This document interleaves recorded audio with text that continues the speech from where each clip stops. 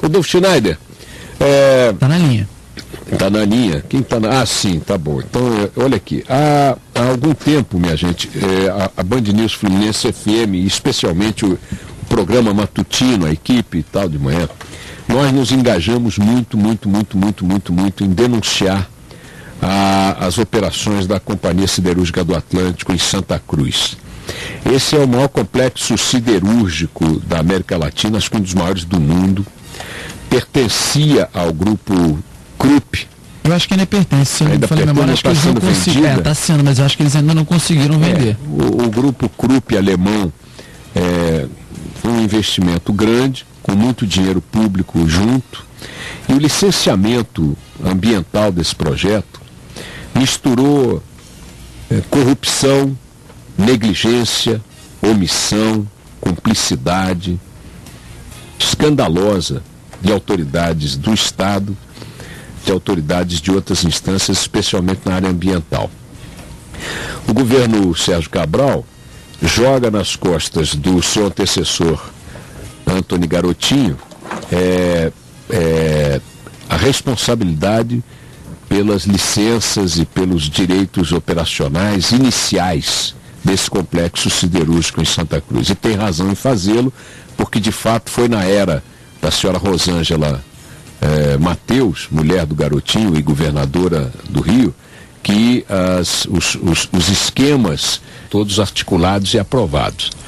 Mas já na gestão Sérgio Cabral, outras ações do governador atropelaram pareceres técnicos do INEA, né, de alguns técnicos do INEA, para que a siderúrgica passasse a operar um segundo forno, um segundo alto forno, não sei mais o que, enfim, ampliasse suas atividades, etc. e tal. É, é, o INEA, como instituição, atuou na forma também da omissão ou do alheamento, né? E eu me reservo o direito de olhar com profunda suspeita, uma profunda desconfiança, profunda suspeita em relação ao que terá motivado o governo Sérgio Cabral, eh, o INEA, as autoridades ambientais, né? E da mesma forma como olho com profunda suspeita e quase convicção em relação ao que terá motivado a governadora Rosângela Mateus, né? E os seus ilustres assessores da área ambiental à época, para terem permitido todos juntos, porque nesse aspecto eles são iguaizinhos, que esse complexo siderúrgico começasse a operar sem as devidas cautelas ambientais e passasse a produzir na região onde está instalado eh, eventos eh, de poluição do ar que não produziriam na Alemanha sede do grupo Krupp. Então, o presidente mundial da Krupp não poria a mãe dele morando em Santa Cruz. A mãe do diretor-geral da CSA não mora em Santa Cruz. A mãe do secretário do Meio Ambiente não importa de que governo que autorizou aquilo ali, não mora em Santa Cruz. A mãe do presidente do INEA, não importa em que gestão, não mora em Santa Cruz. Isso explica em parte porque todos eles, empresários, governantes e órgãos fiscais, permitiram que algo chegasse ao ponto que chegou. Santa Cruz, na região, no grande entorno da CSA, naquela época, começou a ser coberta por uma fuligem prateada. Que os canalhas, já no tempo do governo Sérgio Cabral, diziam que não fazia mal à saúde, diziam que não tem o que, não sei o que. E pararei, a gente levava, mostrava às pessoas, olha aqui, olha aqui, a nossa reportagem levantou isso. Me lembro que os jornais também atuaram naquela época. Foi um escândalo, um escândalo, um escândalo, um escândalo. Pois bem, o governo Sérgio Cabral, o secretário do Meio Ambiente, Carlos Mink, num dado momento, resolveram mudar um pouco o tom com a CSA. Argumentaram aqui em entrevista, o Carlos Mink argumentou comigo à época, que não dava para fechar o complexo siderúrgico, que a responsabilidade pela licença para operar ali, é, para instalar aquele complexo naquela região, não era do governo Sérgio Cabral, era do governo da Rosângela Mateus, mas que agora, com o fato consumado, o trabalho era no sentido de reduzir danos e impor limitações, restrições para a operação da CSA tantas quantas fossem necessárias para que ela ocorresse dentro de padrões ambientais aceitáveis. Em maio, só te interrompendo, eles visitaram lá as instalações esse ano ainda, depois que foi instalado um equipamento com investimento, segundo eles, de milhões, e dizendo que esse equipamento, depois de testes, estava aprovadíssimo e que esse Pronto. equipamento impediria completamente qualquer chuva de prata novamente Pronto. em Santa Cruz. E aí nós vamos direto para Santa Cruz onde está a, a nossa repórter, cadê? A Maria Escodeler. A Escodeler. Maria Escodeler, eu tinha anotado aqui, está aqui, Maria Escodeler, que também está com a Gabriela eh, Ferreira, mais um membro do clã Ferreira aqui no Grupo Bandeirantes, impressionante. A Gabriela Ferreira, que é da TV Bandeirantes, que está fazendo a reportagem junto com a Maria Escodelera aqui para a rádio, sobre o seguinte fenômeno, minha gente: chuva de prata em Santa Cruz, veneno no ar em Santa Cruz outra vez. Eu citei a Gabriela, não sei se ela está do lado da, da Maria Escodelé, porque a Gabriela tem alergia. Ela é alérgica. E o simples fato de estar lá fazendo a cobertura agora, produziu nela imediatamente consequências, tal a qualidade do ar que está sendo respirado por quem mora ou trabalha em Santa Cruz. Maria Escodeler, você me ouve?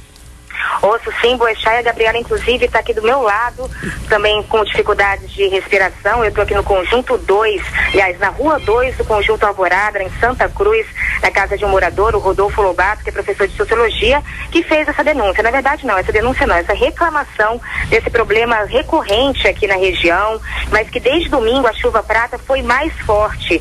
Aqui pelas casas dos moradores é possível ver essa fuligem, parece uma poeira daquele grafite de lapiseira de escola, Parece uhum. uma poeira é bem brilhante. É bem brilhante. Se você passar a mão, realmente até a textura parece mesmo com grafite. E tanto eu quanto a Gabriela, que tem problemas alérgicos, como você falou, a gente está tendo problema de respiração. Logo que a gente chegou aqui, Boechat, com o carro da Band, muitos moradores pararam a gente. A gente foi pedindo informação para chegar até aqui a casa do Rodolfo, que é o nosso personagem. E eles foram parando a gente e fazendo reclamação, mesmo sem saber que a gente veio fazer, é, falar sobre o assunto.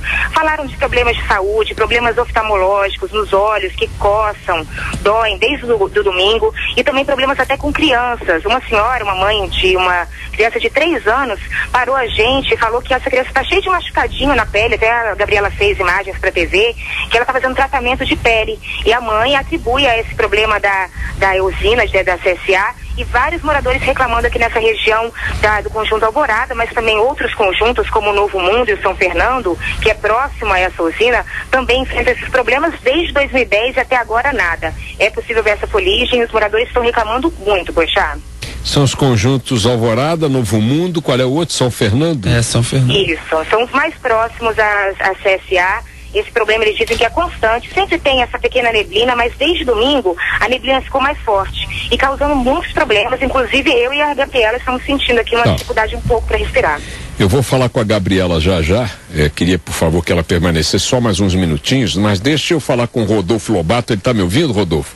Tá sim, vou passar para ele aqui. Oi. Oi, Rodolfo. Bom dia, professor. Tudo bem? Oi, poxa, bom dia. Bom, muito obrigado aí por, por nos atender, por nos receber em sua casa. Você dá aula onde, Rodolfo? Eu agora não estou dando aula, Boixá, porque minha vida parou desde 2010 por causa dessa empresa marginal que é a ThyssenKrupp Companhia de Siderúrgica do Atlântico. Porque Você... todo dia a gente tem um problema relacionado a essa empresa. Você mora aí há quanto tempo? Eu moro há 30 anos aqui, Boixá. Como é que era a qualidade do ar aí antes da CSA? Esse, excelente, Boixá. Aqui eu, eu roubava fruta na, no, nos sítios da, da localidade, jaca, jamelão, na, nas plantações aqui do entorno. Era excelente. Aqui a gente está em frente à Baía de Sepitiba, perto de, do Rio São de um rio aqui chamado Rio São Francisco, que é onde a gente tomava banho. Depois que a empresa veio para cá, essa empresa veio para cá, destruiu essa parte onde tinha a parte de, de, de manguezal, onde tinham animais, é, é, capivaras, é, répteis que passaram a invadir a casa de algumas pessoas depois que ela foi instalada, porque os animais não têm para onde ir. A empresa está instalada num, num, espaço geográfico que soma Leblon e Ipanema. E existiam animais ali. Esses animais não tiveram é, solução nenhuma, além de invadir a casa das pessoas. Esse material particulado que cai recorrente desde 2010. Não é verdade quando a empresa fala que foram dois eventos. É mentira da empresa. É mentira Eu, Boixá, eu estou falando uma coisa que já não é novidade, é mais do mesmo. O que tem de novidade é a, é a minha indignação. Porque todo dia a gente tem um problema. É o um material particular, é enchente no canal, no, no conjunto São Fernando por causa de um desvio que a empresa fez com autorização do governo do estado. A empresa só está fazendo isso tudo porque teve a permissão, uma relação promíscua com o governo do estado. Agora, deixa, deixa eu me, me, fixar um pouco, professor Rodolfo Lobato, você mora no condomínio, no, no conjunto Alvorada, não é isso? Isso, isso. Muito bem. É, esse conjunto tem, você tem ideia quantas pessoas vivem aí, mais ou menos?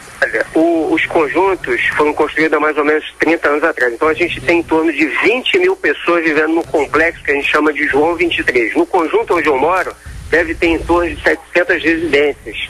Tá, então, mas é, essa fuligem não cobre apenas essa área desse, desse conjunto João 23, ela se estende por outras áreas, naturalmente. Aonde a gente tem esses 16, 17 conjuntos, a gente encontra esse material particular. E, quando há mudança de, da direção do vento, algumas pessoas chegam a relatar que cai em Sepitiba, que é em outro bairro, porque depende do vento. Como o vento ontem, nesse final de semana, estava em direção à comunidade, a gente teve esse absurdo dessa, desse material particular que caiu aqui. Mas dependendo da direção do vento, pode ir para Campo Grande, Sepitiba. Bom, é, eu estou conversando, minha gente, com o professor Rodolfo Lobato, morador do Conjunto Alvorada, um dos conjuntos que integram o complexo João 23, com milhares de moradores na região de Santa Cruz, sobre um fenômeno que é recorrente, mas que de domingo para cá se intensificou muito e que o governo do estado, através do seu secretário Carlos Mink, aqui na Rádio Band News FM, disse que estava debelado, que não se repetiria, que não seria permitido à CSN operar se esse fenômeno continuasse ocorrendo. E esse fenômeno é o despejo de nuvens e nuvens de uma fuligem, eh, de um pó que, pare, que parece grafite de lápis de escolar, quando você passava gilete para apontar, para fazer afinar a ponta, sabe aquela poeirinha que saía do lápis, que suja o dedo? Aquilo é, é um veneno, né? A gente não sabe o que, que é isso aí e pouco importa, mas ele tem a mesma consistência, o mesmo aspecto, a mesma cor e cobre tudo na região em volta da usina, em Santa Cruz, onde moram milhares de cidadãos, milhares de famílias. É, na tua casa especificamente, o, o, o Rodolfo, só para a gente dar esse panorama físico, como é que ficam as coisas? É, você limpa uma vez, quanto tempo depois que está sujo? Como é que é o negócio? Olha, manhã eu limpei na parte da manhã, quando foram duas horas depois já estava tomado novamente. Aqui tem uma hum. bacia com, com água e fica uma fuligem, parece uma vegetação que fica na superfície da, da, da água. Então, um intervalo de duas, três horas, ontem pelo menos foi assim. Mas, e os, é, os telhados ficam cobertos, claro, que ninguém tem como tirar. Hein? Ontem, Bocha, ontem estava uniforme. Ontem você olhava no pro horizonte, você via uma rua prateada. Prateado. Tudo, toda a rua, no, quintal dentro da casa, com um material particular definido, então uma almofada de vento leva para dentro das, das casas, cai Esses... na roupa, cai na toalha, é. cai na alimentação.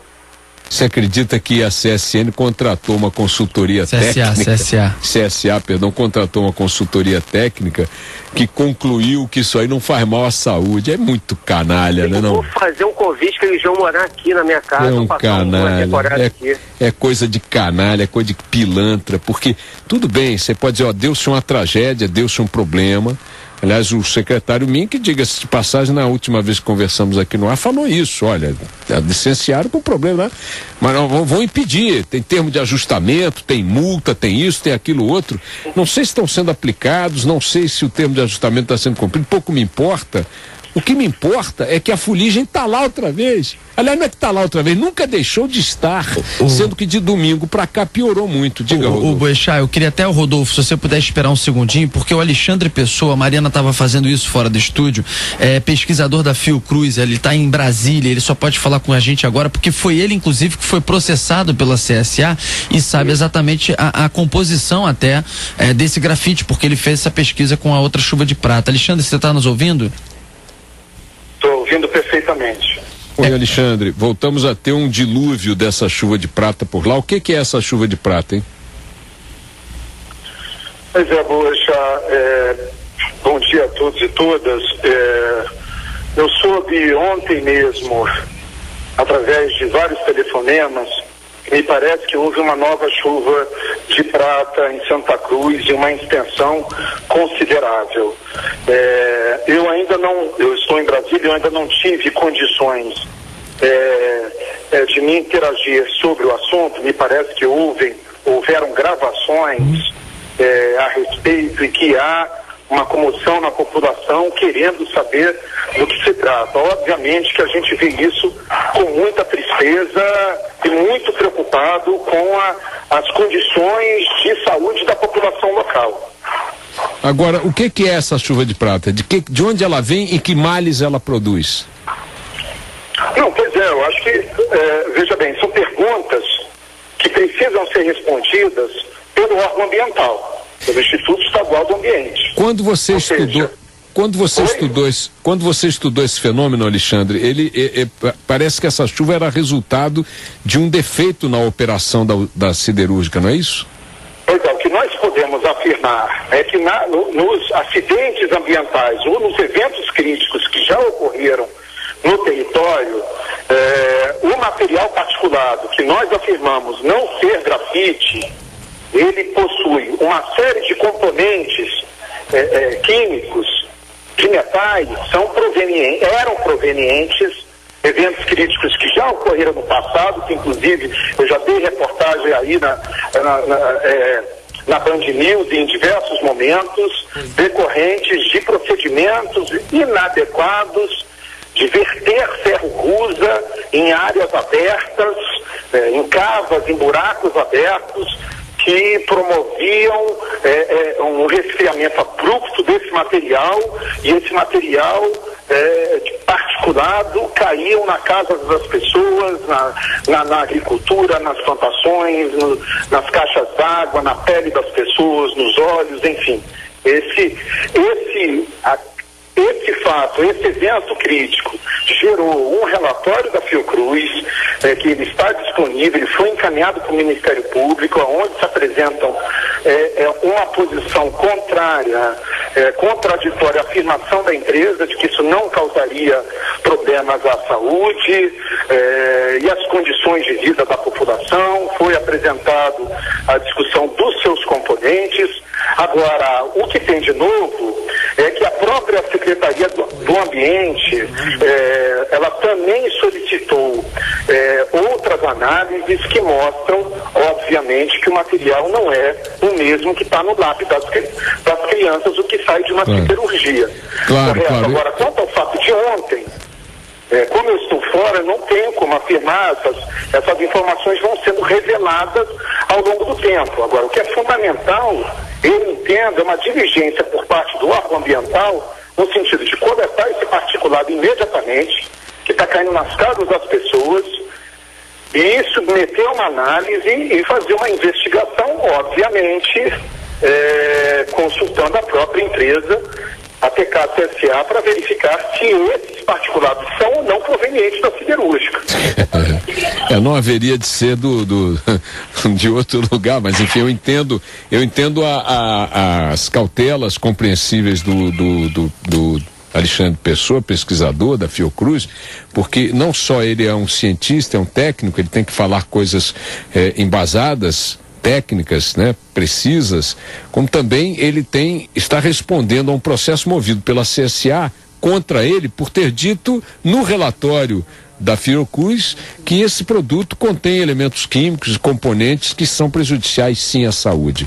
E de qualquer maneira, é o fato é isso que ele próprio registrou em vários telefonemas e nós também uma nova chuva muito intensa de, de fuligem. Quando a gente fala do lápis escolar, não é que a, o produto seja o mesmo, hein, gente? Não é grafite, não. É só para se dizer algo que é semelhante na forma, na cor, na consistência, né? Agora, meu caro Alexandre Pessoa, muito obrigado aí por suas informações, viu? E a gente vai manter contato nos próximos dias e horas, porque os fatos em Santa Cruz são muito graves esta manhã, já desde domingo, tá bom? Muito obrigado, hein? Boechat. Só gostaria de dizer que a Fundação Oswaldo Cruz está acompanhando esse caso e que nós vamos, é, nesses dias, exatamente, é, é, num processo de investigação verificar é, o que está ocorrendo em Santa Cruz, porque a população tem o direito à comunicação e informação em saúde do que está atingindo é, diversas famílias no território.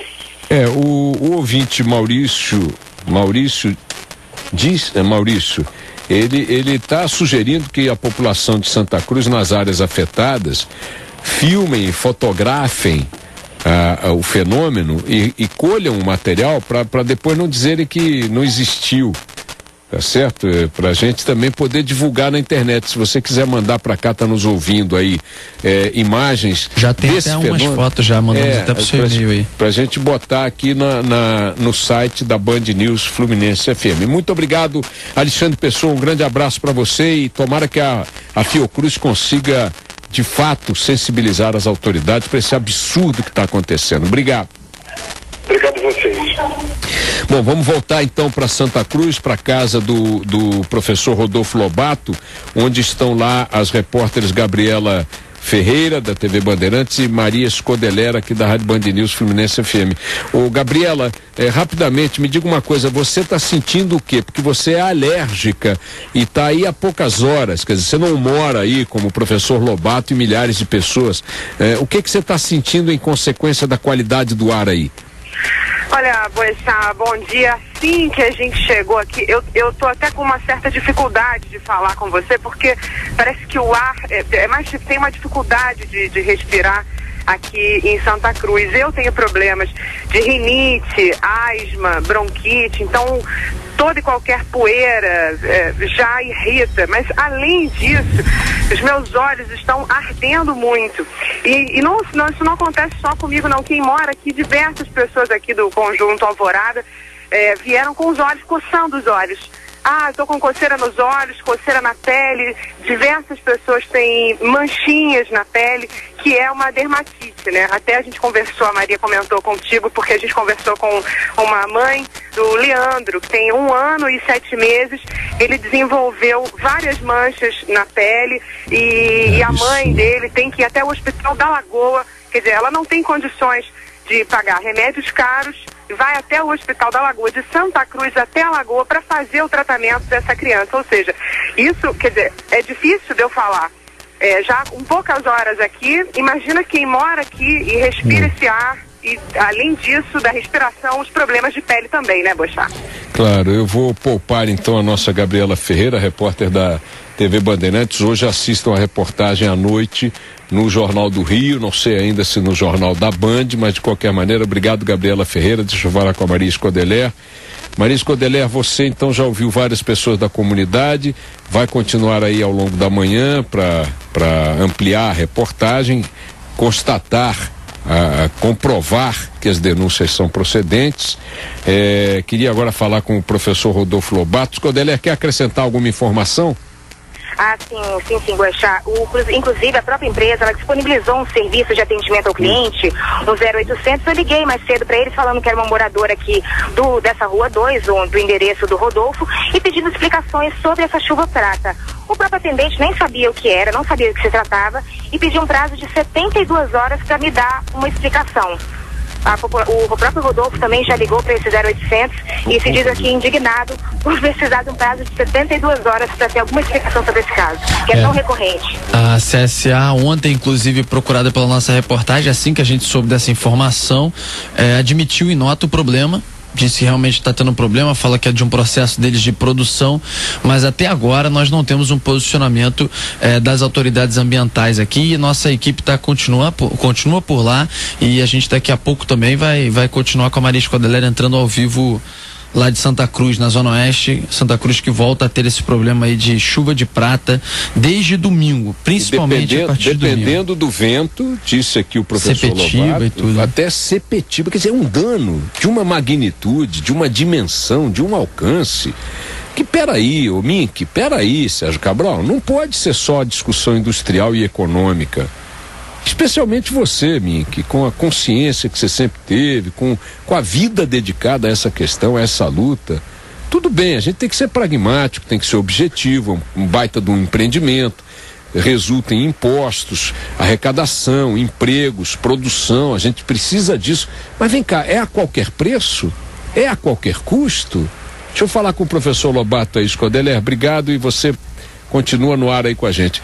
É, é, professor Lobato, quero lhe agradecer uh, uh, ter recebido a nossa equipe aí em sua casa, ter mostrado para a nossa equipe, como outros moradores, vizinhos seus aí, a realidade que vocês estão vivendo e agradecer pela contundência de seu relato e de seu testemunho, lamentar profundamente pela situação que todos vocês aí estão passando e dizer o seguinte, quer dizer, a gente tem que continuar botando a boca no trombone. A população de Santa Cruz, Lobato, é, uhum. na época a época eu reclamei porque achei que a mobilização da comunidade foi muito pálida, muito pouca. Uhum. Quer dizer, tem que, tem que, sabe? Ok, os caminhões da usina saem por uma estrada, não saem? Isso. Bloqueiem. sabe, impeçam. Eu, eu, sabe, eu agora não dá, não dá para matar o teu filho, matar tua mãe, destruir o teu patrimônio, destruir o teu ambiente de vida, de trabalho, eles encherem o rabo de dinheiro, encherem de dinheiro o rabo dos políticos que lhes dão cobertura, dos técnicos que lhes dão laudos é, é, criminosos, falsos, e a população pagar o pato. Quer dizer, a população de Santa Cruz, notem bem, isso eu falei da outra vez, viu, Lobato? Uhum. É, eu, eu posso ficar aqui botando a boca no trombone, eles processam e tal, como o técnico da Friocruz aí também pode, o, o, nosso, o nosso Alexandre Pessoa, como outras pessoas. Agora, quem tem que tomar a frente desse processo, quem tem que chamar a si Isso. a responsabilidade de enfrentar esse gigante, é a população de Santa Cruz, já que os governantes, que deveriam ter essa função prioritariamente, não o fazem, pelas razões que você pode deduzir. Agora, é o seguinte: a população tem que se mexer. Vão perder seu patrimônio? Vão perder a saúde de seus filhos, a sua própria saúde? Vão perder a sua qualidade de vida? Não é que perder a qualidade de vida porque botaram uma linha de ônibus fazendo barulho na, na tua rua. Não! É perder a qualidade de vida mesmo. É não ter condições de viver. Agora, não vai ser a imprensa que vai resolver isso. Os governantes não vão resolver pelas razões que nós sabemos e a imprensa não vai resolver porque o governante está pouco se lixando para isso. Uhum. Entendeu? Então, Lobato, desculpe, eu, eu acho o seguinte: é o mesmo desabafo que ocorreu da outra vez. Você não, acaba se. Sabe? Eu concordo plenamente, Bocha, e eu acho que um dos motivos do, do que está acontecendo é que a empresa foi instalada num local que não tem histórico de resistência. Você vê o exemplo do metrô da, da linha 4, lá na Zona Sul, que um grupo de senhoras conseguiu suspender a obra. Aqui a localidade não tem. A, a característica daqui é das pessoas se indignarem e a indignação só vai ter um resmungo na é. esquina. É. A população é conivente, é responsável por isso que está acontecendo também. Eu concordo plenamente com você. É. Concordo plenamente. Eu, é, eu, tô, eu, eu já há muito tempo estou convencido de que a indignação é um sentimento inútil ele é um, ele é um sentimento inútil. E, e, e, que, e, que caiu, e que caiu em desmoralização, porque qualquer político vagabundo, criminoso, ladrão, quando você denuncia, diz: estou indignado. Ele também fica indignado, vagabundo também fica indignado. O que o povo tem que fazer não é se ficar indignado. Até pode ficar, mas ele tem que se revoltar. Ele tem que agir. Revoltar, voltar com alguma coisa. Não dá, porque é incrível, imagina as pessoas com os filhos com doença de pele, com doença respiratória. E o patrimônio das pessoas, a casa das pessoas. O móvel, a toalha, a cueca, a calcinha. Vê um cara lá da Alemanha, da puta que o pariu, com licença da expressão, para ganhar dinheiro aqui, suborna a politicalha, suborna o pessoal da área ambiental, consegue licenças, consegue precipitar a operação, ampliar a operação. Milhares de pessoas são prejudicadas para esse cara ganhar dinheiro. Um dinheiro que ele não ganharia no país dele, porque lá não permitiriam que ele trabalhasse desse jeito. Lá uma siderúrgica como essa não se instalaria na Alemanha, não funcionaria na Alemanha.